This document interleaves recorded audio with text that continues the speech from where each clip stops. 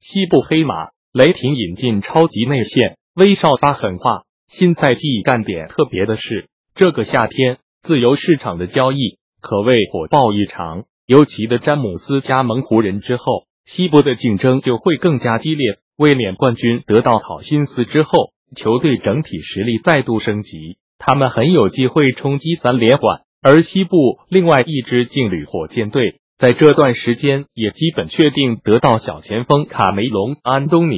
如果甜瓜可以顺利适应火箭队的打法，那火箭会比上个赛季更加接近总冠军。今夏，乔治的决定也是让人意外。很多人猜测乔治会前往湖人队，最终这一交易并没有达成。泡椒还是选择留在雷霆队。球队虽然少了安东尼，但下个赛季雷霆队的成绩。可能并不会太差，因为上个赛季甜瓜迟迟没法和球队融合，又占用了大量的出场时间，威少也打得很别扭，球队在季后赛也难免早早出局。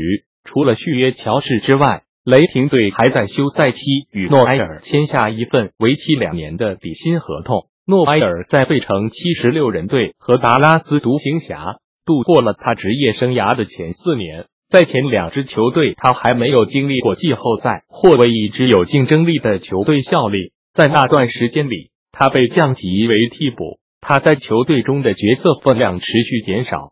他在他的前四年，他场均得到九点三分、七点二个篮板、一点四个盖帽。这位原先被寄予厚望的年轻中锋，盼能把握住雷霆为他提供的机会，由此重获活力。这位二十四岁的球员已经证明了他可以成为防守中的一重要因素，同时还拥有不错的弹跳能力。缺点是在得分方面缺乏多样性。诺埃尔可能会担任替补席上的主要角色。作为亚当斯的替补，他可以成为雷霆上赛季努力寻找稳定性的替补关键球员。诺埃尔在回忆起决定加盟雷霆时的情景时说道。威少和乔治在我跟多诺万教练见面时给我打了电话，他们告诉我我们要在新赛季干些特别的事情。我只有片刻的考虑，他们所展现出的诚意令我的加盟决定变得简单。我真的觉得这是一个绝佳的机会，我与这支球队完美契合，依托于球队现有的运动能力与阵容拼图，